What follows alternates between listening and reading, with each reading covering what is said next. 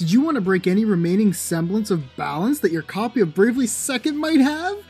Yes? Then you've come to the right video because this build is just downright disgusting. As much as I love this game, there is a lot of overpowered stuff in it. One such setup is known as the Ghost Mage build, and today we're going to go over it. Now, as the name implies, the build focuses around two aspects the Ghost status ailment and Magic. Let's quickly go over what Ghost does before moving on. Ghost is a status ailment new to Bravely Second. When you're affected, it wipes out the player and they are technically treated as being knocked out. They can't be targeted, keyword here being targeted, by allies or enemies, their health is set to zero, and if all other non-affected party members go down, then it will be a game over. However, there are two actions someone in ghost form may take, default and magic. Why on earth they allowed magic is beyond me, but it is that paired with the 0 HP rule that makes this build possible. Keep them in mind as we move on. Now onto the actual setup. First, you must get three of your party members put into Ghost mode. This can most easily be done by equipping the Exorcist ability Ectoplasm to these three, and then allowing them to die in a battle, and then running away with one person left. You can speed this up by giving them Dark Knight commands for the time being, and lowering their health until they get slapped. Once you have your three ghosts, it's time to give them the tools to become cancerous. All three will be given Time Magic as a secondary command, but for the primary job, give one of these ghosts Wizard and the other two Yokai. The last member of the team, who is not a ghost, should be made as tanky as possible, with jobs like Knight, Guardian, etc., or some kind of setup that will keep that person alive all the time. If they die, your team will lose, so they need to stay up. Kaiser is a good side pick for this job, as you'll see in a bit, and if you do do that, take Prescience. To the Wizard! With Spellcraft as their passive, give them MP free in a pinch, Barrage, and Ventriloquism. Equipment should be anything to increase magic attack, but perhaps save your better equipment for the other two ghosts. As for them, having Echo as their passives, you want to give them MP free and Barrage as well, but instead of Ventriloquism, give them Chain Spell. You might see where this is going, and you're probably right. I really hate that you can do this. So how do you use this crazy party? Well, at the start of a turn, have your wizard cast Meteor from Time Magic and spellcraft it with Rain. Then cast Meteor two more times. For the other two ghosts, simply cast Meteor four times each, and if you took a Kaiser, use Noble Eagle and perhaps Spring Awakening. Now let's break down the mess that's happening on your screen. The Kaiser will pop off to start, buffing your party by giving them 200% magic attack from Noble Eagle, one of the only ways you can buff a ghost, since it applies to the battlefield, not to a person directly. Next, the wizard fully braves out and casts 3 Meteor Rains. They only get 3 off because one action slot is reserved to rain after the first meteor, but it's the only one that's needed. Why?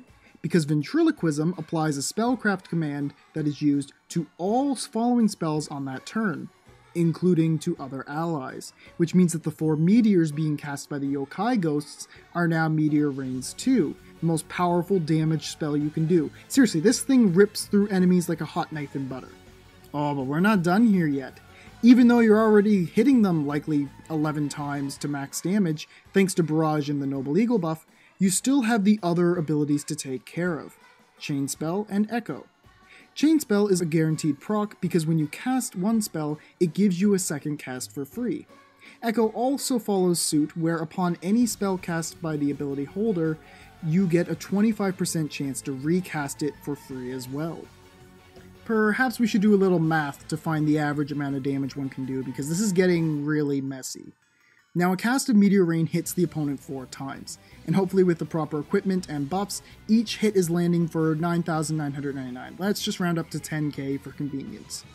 Now we separate Wizard and Yokai damage. Wizard is easy, it's just 3 casts of Meteor Rain. Moving on, each Yokai casts Meteor Rain 4 times. Then Chain Spell doubles that to 8 each, or 16 together.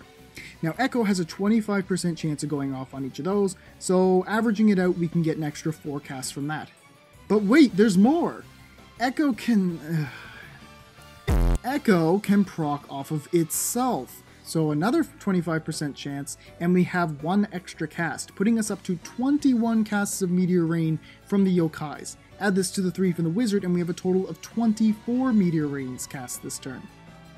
Each of those spells hit 4 times, so 24 times 4 is 96. If each of those do max damage, we are looking at 960,000 damage in one turn alone, just under 1 million damage.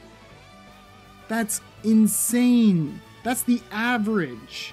Let's just do a little bit of theory crafting then, shall we? Let's go with the assumption that on the yokais, all of the original 16 spells proc Echo. So that's another 16 spells, then 4 more on top of that, and 1 more after that, still assuming the 25% proc rate. 16 plus 16 plus 4 plus 1 is equal to 37 casts! Adding to the Wizard's 3, we have 40 casts of Meteor Rain now. 40 times 4 is 160 hits, which equates to 1.6 million damage. Yeah, this is not okay. What was that? You wouldn't have enough MP to keep this up? Well, that's where the MP free in a pinch comes in. See, since they're all ghosts, their HP is zero. And MP free makes spells cost zero MP when your health is below 25%. So it goes off on every single cast. You see why I kinda don't like this build now? It's absurdly overpowered, and it can kill almost anything with relative ease. Ugh, well, that's all I've got. I hope you enjoy your new ridiculously broken team combo. If you have any requests or ideas for future videos, share them in the comments on Twitter or in my Discord. Links in the description. As for me, I'm gonna go find some hard object to bang my head against for a few hours to forget that this build exists, hopefully. Alright. Thanks for watching, guys. I'll see you soon.